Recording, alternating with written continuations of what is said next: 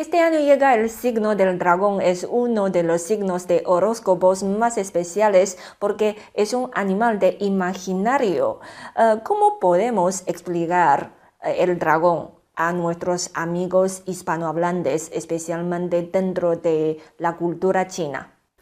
En realidad, el dragón no es un animal, por una parte. Por otra parte, tampoco es eh, imaginario eh, de hecho, se trata de un Dios, de la efigie, eh, la imagen.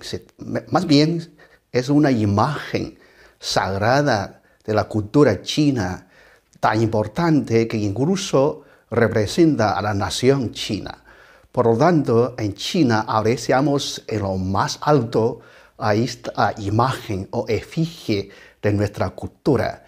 Incluso los eh, emperadores de distintas generaciones o distintas dinastías consideran que ellos son hijos de dragón, de modo que dragón en realidad en este sentido no es un animal, eh, es una figura sagrada como Dios del pueblo chino. Eh, en China eh, tenemos 12 horóscopos. Eh, entre estos 12, en realidad el dragón es el mayor. Se considera en China el dragón lo más importante, lo más precioso, lo más poderoso, lo más sublime, lo más importante. De modo que consideramos que este es el Dios, el primer Dios, de la cultura china, de la creencia china. En realidad en China no tenemos eh, una religión nacional, pero todos creemos en el dragón. Consideramos que es el dios del pueblo chino. Pues hablamos mucho sobre el dragón en China, pero tenemos entendido de que el dragón no es único en Oriente, sino también existe en el Occidente. Entonces, ¿Cómo es el dragón occidental? El nombre dragón, la palabra dragón en realidad viene de Occidente, de Europa. Eh, en China, el nombre para esta imagen es long. he hecho comparación entre las dos imágenes, el long y el dragón. No he encontrado ninguna coincidencia, ninguna semejanza porque el dragón, como hemos dicho, en China representa lo más eh, poderoso, lo más sublime, la nobleza de la familia imperial.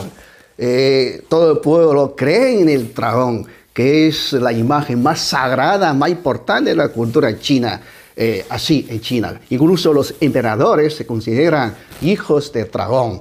El pueblo chino se considera, se considera descendiente del dragón por parte de la cultura china es así, la imagen del dragón.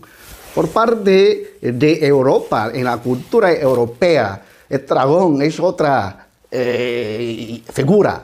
Eh, generalmente el dragón, porque el dragón eh, salió, su origen se encuentra en la Biblia. en la Biblia el dragón es un diablo, representa lo negativo. El dragón chino siempre es lo positivo. Entonces, eh, las dos imágenes son contrarias. Eh, no sé por qué y desde cuándo. Yo creo que fue desde la dinastía Ming. Entonces vinieron de Europa eh, numerosos misioneros. ellos trajeron a China la figura de dragón europeo. ellos tradujeron el long a dragón o tradujeron dragón Alón. Pero en realidad no hay aquí equivalencia entre las dos imágenes. Mejor que poco a poco utilizamos con más frecuencia el carácter long en vez de dragón para, o sea, recordar al mundo o a nuestros amigos hispanohablantes que el dragón y el long, aunque tiene la parece el mismo nombre en español, pero son totalmente dos símbolos diferentes.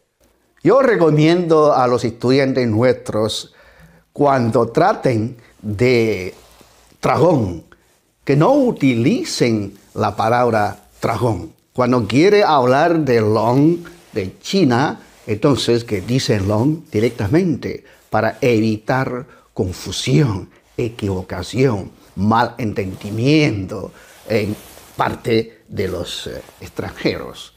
Eh, long es un concepto tan importante en nuestra cultura. Eh, tiene que tener su nombre propio chino.